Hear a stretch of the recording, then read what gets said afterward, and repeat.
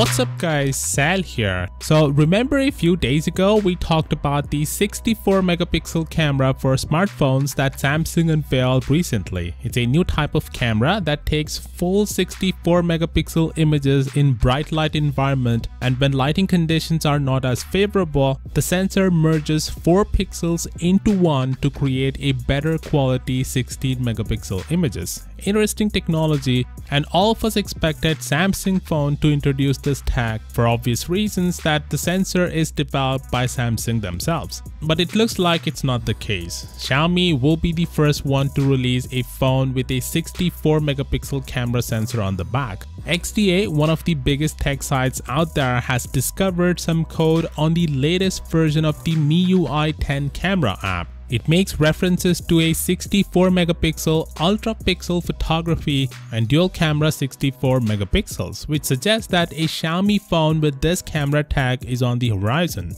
Also, Ice Universe revealed on Weibo earlier this month that Xiaomi's Redmi range will be the first one to launch this camera tag. Am I surprised to hear all of this? Not really, because it's all about business at the end of the day. When Xiaomi went to Samsung to place an order of these camera units and if Samsung had declined, Xiaomi could have gone to some other company, probably Sony. Sony is also working on a 64 megapixel camera, so it would be a huge loss for Samsung if they indeed went to Sony. And business relationships with Xiaomi could have been tampered, so I can totally understand the decision. But in any case, Samsung has lost a great marketing opportunity. The 64 megapixel camera on a smartphone hasn't been done before and it could have been easy for Samsung to market such a phone, but now it looks like Xiaomi will do the honors.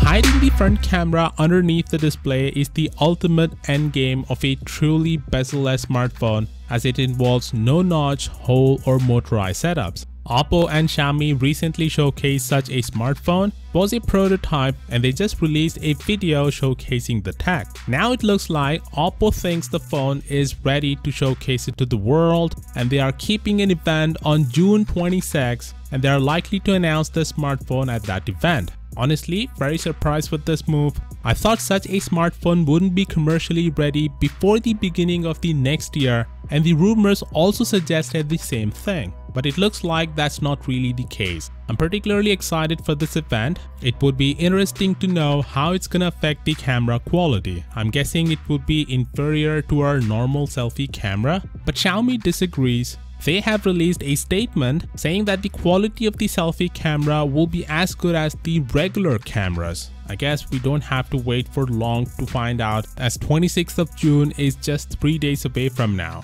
Anyway, I'm gonna cover this topic once again on 26th of June so consider subscribing if you haven't already and also let me know your thoughts down in the comments and as always, I'll see you all tomorrow. Peace out.